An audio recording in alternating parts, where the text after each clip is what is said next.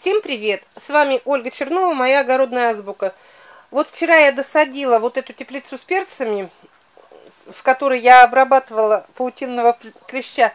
И хочу вам рассказать, как, по какой схеме я высаживаю перец. Потому что многие спрашивают. Ну вот смотрите, эту теплицу я в один заход не успела посадить, потому что было много там с рассадой дел, все. И вот эти я посадила только вчера досадила, вот их видно, я их только сюда принесла. А эти я высаживала еще две недели назад. И хотя она, они выглядят немного поменьше, чем те, которые я сейчас высадила, и как бы, потому что здесь была жара, у нас неделю стоит жара 30-градусная, им было здесь сложно приживаться, но они уже завязали хорошо перчины, вот те, которые раньше я высадила, все-все уже с перчиками, вот они, все с плодами, абсолютно все. И видно, что вот этот район, который я высадила раньше, он уже обильно зарастает травой, потому что я здесь перегноя хорошо добавила. Вот эта вот трава у нас завезена с деревни, вот какая-то, я не знаю, как это, похоже на пшеницу.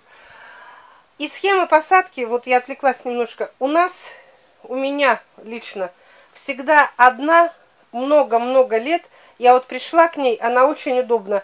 В любой теплице, хоть 6-метровая, хоть 8-метровая, они же все 3 метра ширина, вот так в ширину у меня 3 метра. Эта теплица у меня вообще не запланированная. У меня вообще теплица с перцами, где основные растут. Там 3 на 8, посажена точно так же.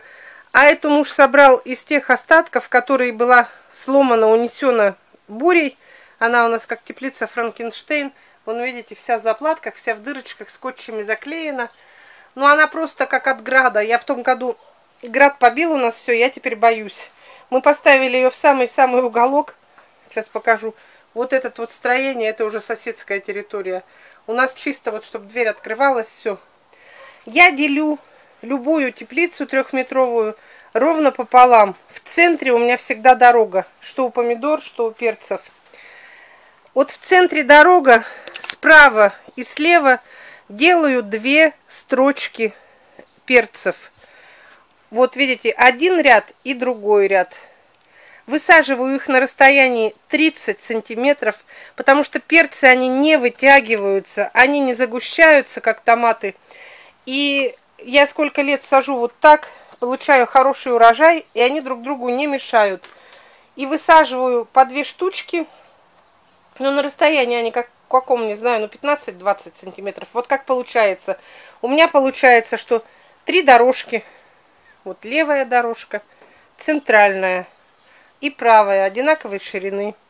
И четыре строчки, посадки вот в четыре строчки, раз, два, три, четыре. В каждой строчке по две штуки. Рядок состоит из двух.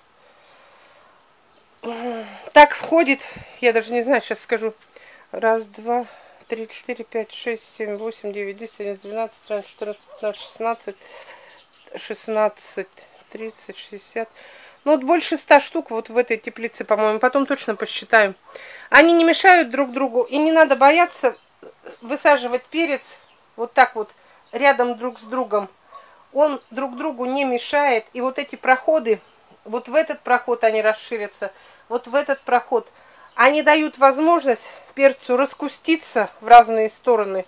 И в высоту, и в ширину. И я потом вам летом покажу, вот при такой посадке, сколько получается перца, какой урожай. Можете посмотреть прошлогоднее видео, там у меня теплица 3 на 8, и там я когда показываю эти обзоры сортов перца, все, там видно, что они посажены точно так же в 4 строки, и как обильно они все увешаны перчинами. Все, вот это небольшое видео о схеме моей посадки.